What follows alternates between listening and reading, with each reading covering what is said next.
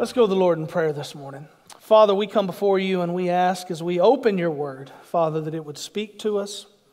Father, we pray that you would use it to convict us, to transform us, to impact us. Lord, to reveal yourself to us. Lord, may you have your way with us in the moments that lie ahead. We ask this and we pray this now in the name of your Son, Jesus. Amen. How many of you have ever made a trade? Ever traded for something? Anybody raise your hand if you're a trader? Like a, you know, not that kind of trader, a trader. Somebody who's ever traded something. We've all traded something uh, in our lives, haven't we? If you grew up poor like I did, you probably got real good at trading for things as a kid. When I was growing up, I traded my brothers for stuff all the time. I uh, traded my cousins for stuff all the time. Traded friends for stuff all the time. I've traded for pocket knives and BB guns. I've traded for G.I. Joes and Transformers, other cool little toys that a little boy would be interested in. In grade school, my mom used to send me to uh, school with a lunch. Was back before everybody got lunch for free, you know, like today. But um, we, had, we took our lunch to school. Any of y'all took your lunch to school? Old people. I knew we had a church full of old people. took your lunch to school, didn't you? And your mama, she loved you enough to pack your lunch and put it all together for you. And then you would go and you would sit down with your friends, or even your enemies for that matter, and you would trade, wouldn't you? You would, you would trade. I mean, I remember going to, to school and sitting there and I knew whose mamas packed good desserts. I, I knew who, who was going to have something good in their lunchbox, and I would sit by them. And if you got lucky, you could trade your sloppy, soggy salami sandwich for, you know, an ice cold cup of pudding. Hmm, that's a good trade if you could pull something like that off. But, um, you know, we continue to trade as we get older. The only difference in our trade now is our trades get more expensive, have bigger consequences to them. The stakes are higher, if you will, but we continue to be people who make trades. I would say, in reality, we're professional traders. Because everything you do in life is a trade. You trade your time for a paycheck. You traded your first house for your second one, and your second one for your third one. You go down to the, the new car dealership or the used car dealership, and you trade one vehicle for the next. You'll trade a shift with a buddy at work so you can attend a wedding for a friend or a family member, or so you can uh, attend one of your kids' games, or just so you can have an extra day off for your vacation. But you'll make that trade. You might trade something out of your garden for something out of your neighbor's garden or something out of your neighbor's freezer or something out of your neighbor's barn for that matter. But you'll make that trade. Everything we do in life is essentially a trade. Even the things we purchase are trades. You trade that stuff called money for bags of groceries. You trade that stuff called money for gas at the gas pump. You trade that stuff called money to take your family out to eat. That's a trade. You're trading something you have for something somebody else has. If you think about it, so much of life is trading. Life is a series of trades. And when you trade with somebody, there's three basic things that can happen. There's three ways a trade can go. And, you know, professional traders like y'all would know this. Not telling you nothing new here, at least. And it, doesn't matter if you're trading on the playground in kindergarten or at the lunch table in grade school or if you're trading for something big as an adult. There's three ways any trade can go. The first way is what we might call a bad trade. Trades can go bad, can't they? The bad trade is when you get the short end of the deal. when you traded your pudding for that soggy salami sandwich, you made a bad trade. Especially if it had mustard on it. Be even worse. Nasty. Mustard people. Or, or when you go down and you trade your vehicle, and you didn't just trade, but you traded when you were upside down. And so you rolled all that money you still owed on that other one onto your new one. And you woke up somewhere down the road and you thought to yourself, I don't know if that was a good trade. Listen, don't, don't, don't get on to yourself if you made a bad trade. We've all made bad trades, haven't we? How many of y'all made a bad trade at some point in your life? Yeah, bad trades happen. It's possible for one person to be a part of a bad trade and another person to get the good side of that trade. It's also possible for everybody in the trade to end up with a bad trade. Bad trades happen, it's just part of being a trader. There's also what you might call a neutral trade, a fair trade. This is a trade where everybody gets a little bit of something they want. Usually in a fair trade, everybody gives up a little bit of something too. Fair trade is where everybody walks away kind of on equal footing. You got something you wanted, I got something I wanted, and we were both happy about it when the trade was over. And those happen a lot in life too, and those are, those are good trades.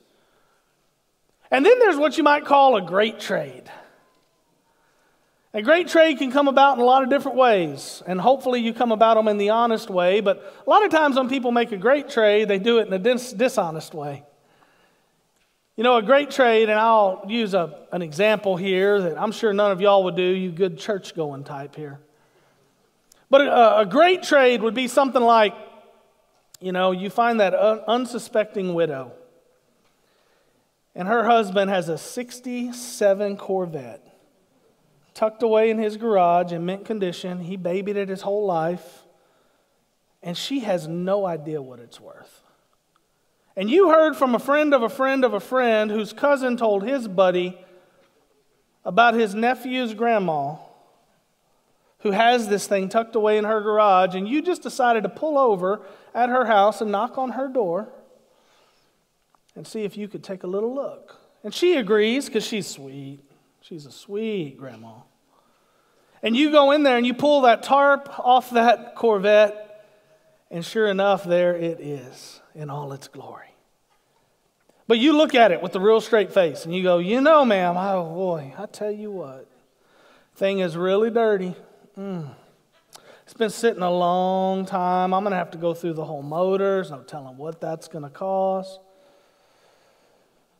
You know what? I'll take it off your hands for 1500 bucks. I, you probably need to get it out of your garage. This thing's just in your way. I'll do you a favor. Bring you the cash this afternoon. That'd be a great trade if you could pull that off, right? At least for you it would, not for her. You know, I, I think about the one of the greatest trades I ever made in my life. She's sitting right here, Abby. Don't spit your coffee out. yeah, worked out real good for me, maybe not so good for her. It's a good thing love is blind, amen, guys? Amen. It's a good trade for me, not so good for her. But see, a great trade, typically a great trade has somebody on the other side that didn't get as good of a deal. And that's what makes it great for you. I bet everybody in this room has made all three kinds of trades. You've made bad trades, you've made neutral or fair trades, and you've made a couple of really great trades at some point in your life. Again, hopefully in an honest way, not a dishonest way, but you've walked away going, man, that was a great trade. In our text today, in Mark chapter 1, there's a lot we could say about this text, but I, I want to focus on a trade that happens here. And I want to see if you can spot the trade. I bet a group of professional, lifelong traders like y'all will be able to spot it for sure, real easy. But even if you don't see it when we read through it the first time, don't worry, because I'll point it out at the end. Here's what it says Mark 1 39 through 45. He went into all of Galilee, this is Jesus, preaching in their synagogues and driving out demons. Then a man with leprosy came to him on his knees and begged him, If you are willing, you can make me clean. And then verse 41 says, Moved with compassion, Jesus reached out his hand and touched him. And there's a period there. He reached out his hand and touched him. And then he said, I am willing, be made clean. And immediately, the text says, the leprosy left him and he was made clean. And then Jesus sternly warned him and sent him away at once, telling him, See that you say nothing to anyone, but go and show yourself to the priest and offer what Moses commanded for your cleansing as a testimony to them. Yet, verse 45, he went out and he began to proclaim it widely to spread the news with the result that Jesus could no longer enter a town openly but he was out in deserted places, and they came to him from everywhere. The big idea for our text today is simple but powerful. It simply says this if you want to fill it in the blanks in your bulletin. If Jesus offers you a trade, take it. If Jesus ever offers you a trade, take it. A hundred percent of the time, when Jesus comes and wants to trade with you, take it. If I come and want to trade with you, better think about it, okay? I'll be honest with y'all. If your neighbor comes over and wants to trade with you, you might want to consider the trade and think about it. But if Jesus comes and wants to trade with you, 100% of the time, take it. Before we look at this great trade that was made, I want to look at the people involved here. We'll start with the man with leprosy. I call him a weary man. He's the weary man in the text. I say he's weary because there was no more feared disease in this day and age than leprosy. Leprosy was much more common then than it is today for many reasons, partly because of the unsanitary conditions that people lived in, partly due to the unsanitary conditions in the um, geographical area and the climate that they experienced in this part of the world led to a lot of hygiene issues, which also led to a lot of skin problems. But one of the reasons why leprosy was so common back then is because many times leprosy would be misdiagnosed. Many issues were diagnosed as leprosy. Many common skin problems would be diagnosed as leprosy. People would develop rashes or even heavy dandruff, or what we would know of and call today eczema, and many other types of skin issues like that, and mistakenly be classified as lepers during these days. If someone was suspected as having leprosy, they had to, in their shame and humiliation, drag their bones and their dreaded condition over to the priest who would examine them. And he would look at them and he would, he would tell them whether they had leprosy or not if he could tell. But many times he couldn't tell, and so he would say, You have to be quarantined for seven days, and then I will re examine you in a week. They would come back, and if the condition had gotten worse, they would many times, most of the time, be diagnosed with leprosy the condition hadn't gotten worse or was only marginally worse, the priest did have at his disposal another seven day quarantine for a total of two weeks, where he could quarantine the person for another week and then come back and check them again. But at the end of two weeks, a decision had to be made and something had to be decided. A diagnosis had to be provided. And if you were diagnosed with leprosy as this man was, at that point, you were banished from everything in society because leprosy is contagious. And in Jesus' day, it was much less understood than it is today. People in Jesus' day thought that leprosy spread not only by touching it or touching you, but they thought it spread through the air and it it can through water droplets in your mouth or your coughing or your sneezing and things of that nature. It, it can be transferred that way. But they thought if you were just in the general proximity of somebody who had it, there was a good chance you would pick it up as well. It's why if you were diagnosed with leprosy, you had to stay a minimum of six feet away from everybody else. And if it was windy, you had to stay 150 feet away from everybody else. The Old Testament law that governed leprosy can be seen in places like Leviticus 13:45. This isn't the only place, but it's the only one I'll share. It says the person who has a case of serious skin disease is to have his clothes torn, his hair hanging loose, and he must cover his mouth and cry out, unclean, unclean. He will remain unclean as long as he has the disease. He is unclean. He must live alone in a place outside the camp. So if you were diagnosed with leprosy, it destroyed your life. You had to be physically identifiable with your clothing and your hair and things of that nature. You had to be verbally identifiable. If other people approached you or came close to you, you had to cover your mouth and scream, unclean, unclean, so everyone would know. You had to be socially identifiable, staying outside the camp, living only with other lepers. It's impossible for us to understand how devastating this would have been to anyone who contracted leprosy or anything that resembled leprosy. Masterman said this. He said, No other disease reduces a human being for so many years to so hideous a wreck. It's a good way to describe it. Another commentator wrote lepers were people who were already dead, though still alive. Another good description of your life as a leper. The physical toll of leprosy was excruciating on your body and your bones. The mental and emotional toll would have been extremely agonizing, being banished and separated from everybody and everything.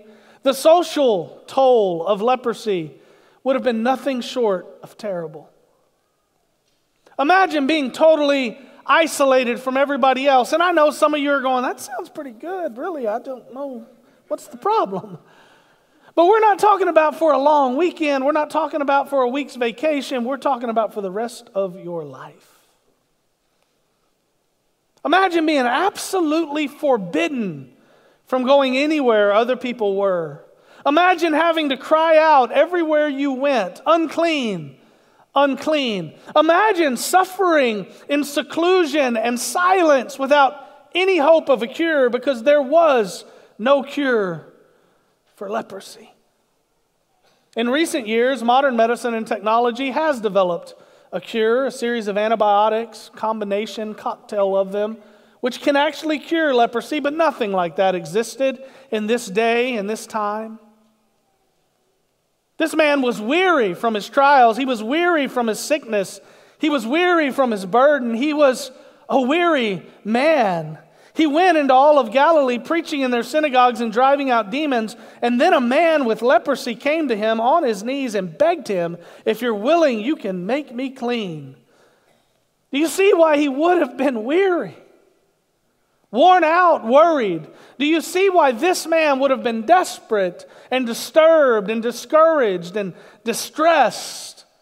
Can you see how this man would have been totally demoralized and distraught and absolutely devastated by his condition, his prognosis, and his situation? That's why this man with leprosy came and got down on his knees and begged him because he was weary. In Luke's account, it says in Luke 5:12 that he fell face down. This man has his face in the dirt, begging Jesus to make a trade. He was willing to trade anything if Jesus would just take this away from him. He wanted to trade this awful, nasty death sentence of a disease for anything he could. If Jesus offers you a trade, take it. Next, we see what I call the willing Messiah. It's Jesus. This weary man knows that his only hope is a willing God, a willing Messiah. He knows that his condition can't be cured. He knows there's no money, no amount of money that's going to fix it. He knows there's no medicine that's going to fix it. He knows time isn't going to fix it. He knows only God can fix it. And so here he is at the feet of Jesus saying, Would you fix it? And Jesus is going to meet this man one on one right there where he is, right there in the dirt. Look at it in verse 41. Moved with compassion, Jesus reached out his hand and he touched him. Period. I am willing, he told him, be made clean. And immediately the leprosy left him and he was made clean. There are two important things I want to make you aware of here in this text. Two important things I want you to see. The first revolves around what Jesus did. And what we should do when we're trying to be like Jesus and deal with people one at a time and love them one at a time and minister to them one at a time, just like this. Notice that it says Jesus was moved with compassion. I bet you can relate to that, can't you? You've been moved to compassion at some point in your life. We've all been moved with compassion at some time or another. Think about it for a moment. What is it that, that moves your heart? What is it that breaks your heart? What are the things that you've seen and heard or heard about that stir and swell your soul with compassion and great concern? Now, let me ask you this what have you done about it? What have you done about those things? Have you done anything at all? Because look at what happens. Jesus, he reached out his hand and he touched him. Period. Here's what I want you to notice about this Jesus touched him before he healed him. He reached out and touched him before he healed him. This man hasn't been touched in a long time, y'all. This man has been isolated and secluded. He's been cast out of society. Nobody has touched him in a long, long while. And here he is on his knees with his face in the dirt, begging Jesus to make a trade. And then he feels somebody, Jesus, reach out and touch him. I have a feeling it sent a shiver up his spine. It probably scared him. Has, anybody ever reached out and touched you when you weren't expecting it? You kind of jumped. Imagine how it would have felt to this man who hasn't felt a touch in a long time, who's not expecting a touch. What a foreign feeling, what a forgotten feeling this touch must have been when he felt it upon him. And even if it didn't scare the man, it certainly scared everybody who was watching Jesus because the one thing you never did with a leper was touch him. Not unless you wanted to get it. The accounts in Matthew and Luke both reported exactly this way as well. They both say that Jesus reached out and touched him before he healed him. Reaching out his hand, Matthew 8 3, Jesus touched him saying, I'm willing, be made clean. He touched him, then healed him. Luke chapter 5, verse 13, reaching out his hand, Jesus touched him, saying, I am willing, be made clean. He reached out and touched him before he healed him. Now, Jesus didn't have to touch him to heal him. Jesus didn't have to touch him to have compassion on him. Jesus did not have to touch him to change his life. But Jesus made the choice to reach out and touch him anyway. The point is this it's great to have compassion, it's great to care. It, it, it's great when your heart is moved, church. But it's even better when you're willing to do something about it. It's even better when you're willing to reach out and touch them. It's even better when your compassion and your care and your heart manifests its way in some form or fashion so somebody can experience it. And listen, I'm not saying you need to go around touching everybody, that's going to get you in trouble. Okay? But it can be as simple as a smile. It can be as simple as just a word of encouragement. It can be as simple as writing a card or making a phone call or sending a text. It, it might just be helping a neighbor in some practical way meet a need you know needs to be met. The point is, don't miss an opportunity to allow your compassion to reach out and also touch someone.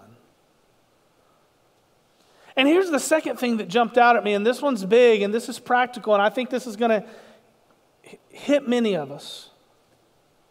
This weary, weak, worn out man had no doubt that Jesus had the power to heal him.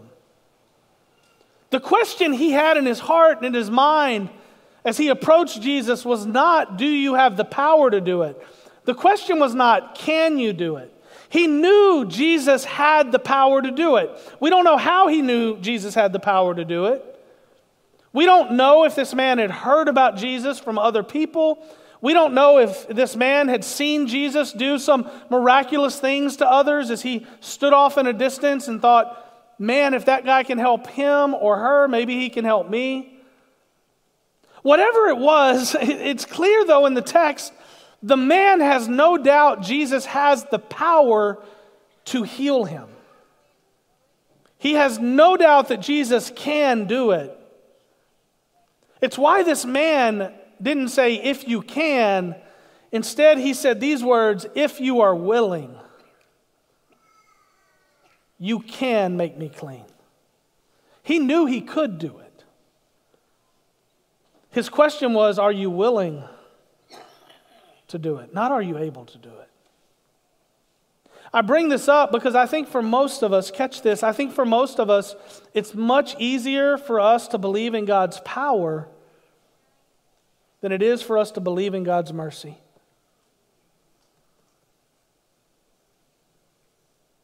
Certainly the case for this man.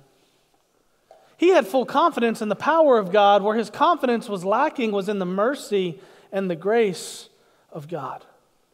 And I know some of us, perhaps many of us, right now are in a place where we know God can do it. We're just wondering if God will do it.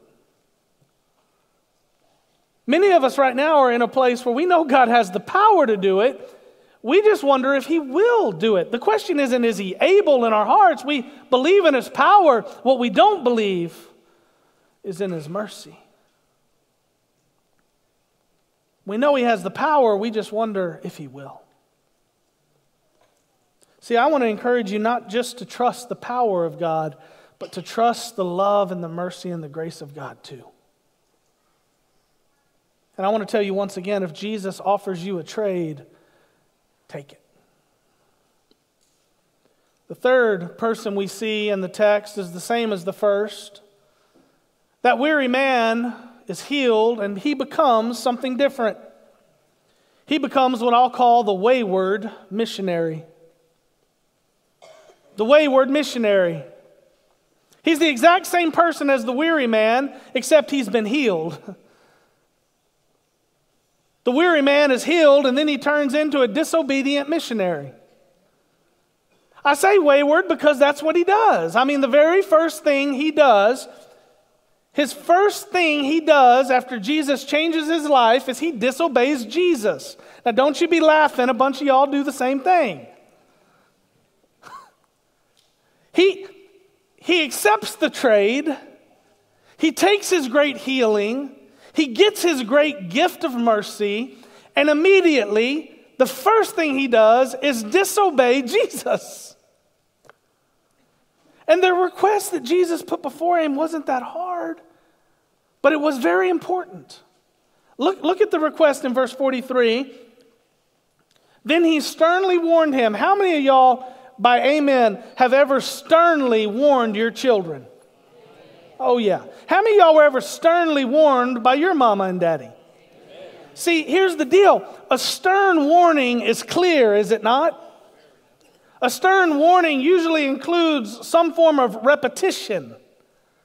A stern warning is a simple thing for everybody to understand. A stern warning outlines not vague, but very detailed, defined, clear guardrails that everybody's aware of, right? Jesus sternly warned this man and sent him away at once. And what was this stern warning? Well, he said, See that you say nothing to anyone, keep your mouth shut. But go and show yourself to the priest and offer what Moses commanded for your cleansing as a testimony to them. Yet, he went out and began to proclaim it widely and to spread the news. See, Jesus wanted this cleansing to be a testimony to the hard hearted religious leaders of the day. He wanted him to show up to the priest, probably the priest who had diagnosed him, and say, Look, I'm all better. That man named Jesus did this. He wanted him to go through the process for a reason. He, he wanted him to keep his mouth shut for a reason. He wanted him to go to the priest for a reason. He wanted him to go through the process for a reason. He wanted him to be declared clean by the priest for a reason. He wanted him to do all of that for many reasons. Part of it was so he could be restored to society legally, fully return to society. Part of it was he wanted these hard hearted religious leaders to see an overwhelming testimony they would not be able to deny of God's power. And, and there's probably other parts to this as well. He just says, hey, keep your mouth shut, go to the priest, let him do what he's got to do, let him declare you clean, and that's going to be a testimony to them. But no, this loudmouth knucklehead decided he's just going to do it his own way. And he goes out and immediately disobeys Jesus. He went out, and instead of keeping his mouth shut, he proclaimed it widely and spread the news. Now, please hear me. When I call him a loudmouth knucklehead, I'm saying that sarcastically. Because I will be the first to proclaim that, like this man, I too have disobeyed on more than one occasion Jesus. I've opened my mouth when it should have been shut, and I've shut my mouth when it should have been open, and I've gone where I shouldn't have gone, and I've not gone where I should have gone. I'm not condemning this man. I'm not judging this man. I'm not saying I'm better than this man because I know that I'm not. I know that just like this man, had I been him, I would have struggled and most likely failed to be obedient to this simple request to keep my mouth shut. I, I don't know that I could have. I, I get his excitement. I get his enthusiasm. I'm sure his intentions were pure. I'm sure he thought he was doing the right thing by telling everybody about what Jesus had done. But, church, can I tell you, we will never know the full scope of this man's disobedience. Because all sin carries with it consequences. And this instance is no different. There are consequences we can see and consequences we can't see. Look again with me at verse 45. I want you to see the result of all of this. It's right there for us in Scripture, and here's the trade.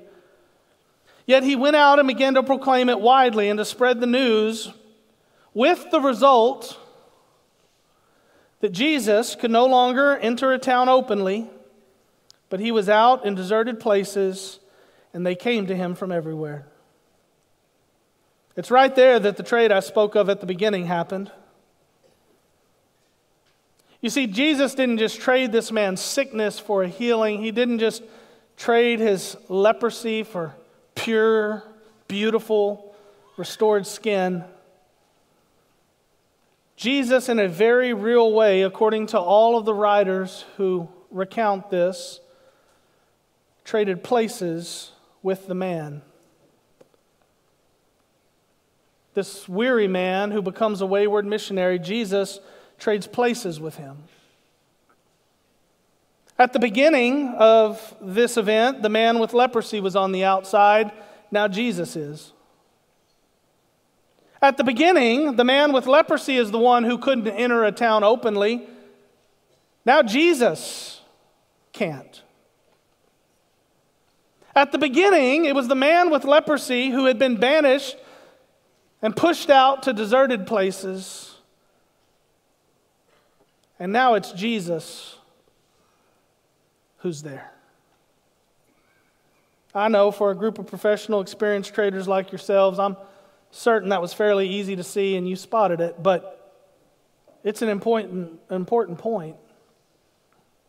You know, the Jewish historian Josephus said that there were approximately 240 towns in the region of Galilee.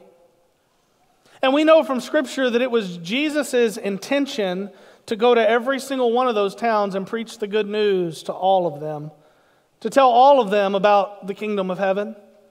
In fact, if you back up to verse 38, right before our story today begins, Jesus said this in Mark 1:38, "Let's go on to the neighboring villages so that I may preach there too. This is why I've come." He says, "I came to preach to all these villages." And we know that Jesus was not able to go to all of these places. We know he didn't make it to all 240 villages. And the turning point for that happened right here in our text because this man opened his mouth. I get it. The man was excited. I get it. I'm sure he thought his intentions were pure and he was doing the right thing. I know he couldn't keep his mouth shut. But I think the lesson from that is pretty simple as well. And it's one we all need to learn, and that is this God's plan is always the right plan.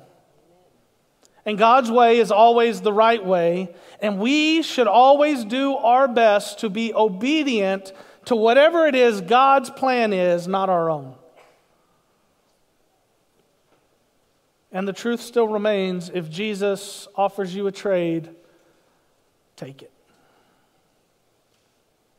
again, to a group of professional, lifelong, experienced traders like yourselves, I'm sure you can see that this man made a heck of a trade. If Jesus offers you a trade, take it. Some of you might even be thinking, man, I wish I could make a trade like that. I wish I could make a great trade like that man did. Well, I have some good news to you. Jesus is still trading. He's still willing to trade with you. And he's still offering great trades today. That's why I've been telling you if he offers you a trade, take it. You know, Jesus will trade your sorrow for joy. He'll, he'll trade still today, this very day. He'll trade your shame and guilt for freedom. You, you can bring your fear and your anxiety to Jesus, and He'll trade it for peace that surpasses all understanding. You can come to Jesus in the middle of your loneliest and darkest season in life, and He'll trade it immediately for love. You can bring your broken life, no matter how shatter, shattered it is, and bring all of your brokenness down here to the altar this very hour, and you can trade it for holiness. You can trade your hurt for healing. You can trade your sin for salvation. If Jesus offers you a trade, my advice is take it. And it's crazy to me how many people keep passing up these great trades, especially the cross. You know, that's what the cross was it was a trade. God traded his son for your salvation. The sinless Lamb of God died on your cross for you. Just like he traded places with this man, that's what the cross was for you. He traded places. He died on your cross so you could be made pure, so you could live in heaven so you could conquer death. What a great trade, for you at least. That God would give his one and only Son so you could live. That God would be willing to trade places with you and take your punishment for you. He said, I'll take your sin and I'll trade it for salvation. And all you have to do is confess with your mouth that Jesus is Lord and believe in your heart that God raised him from the dead, and you will be saved. Jesus is offering you a trade. My advice is take it. Let's pray. If you are here today or can hear my voice, and have never called on Jesus as your Lord and Savior, I have good news. He died for you. He loves you, and He's willing to make a trade with you today. If you will believe and confess. We're not going to ask you to come to the altar, though it's open. If you want to come down here and trade something with Jesus when the music begins to play, feel free. But you can do business with God right now, right there where you're at. Give him your sin, and he will trade it for salvation. If that's you, just say this say, Lord, it's me. I confess that I'm a sinner. I know that I've messed things up and gone astray. So I ask now by faith that you would save me from the inside out. I ask by faith that you would make me new that you would make me whole, that you would change me. Lord, I ask by faith that you would forgive me and give me the great gift of eternal life. I thank you for your grace and for your goodness, for your love and for your mercy.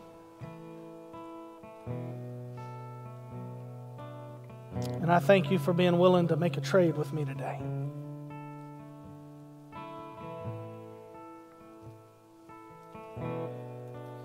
Lord, as we prepare to close, we just, Lord, I just want to say thank you. Lord, I'm thankful that you continue to trade with us, though you always get the short end of the deal. I'm thankful that despite our unfaithfulness and our disobedience, you continue to allow us to come to the altar and make a trade. Lord, you never take more than you give, you never require more than you offer. You've never once, as far as I can see, in all of Scripture, all the testimony of my life, put me in a situation where I came out on the short end of it. And Lord, we just don't deserve that kind of grace and mercy, but what a testimony to your goodness and faithfulness it is. So thank you, Lord. Lord, I pray for those who can hear my voice who need to trade something today. I pray they would do it. Pray they would take the trade.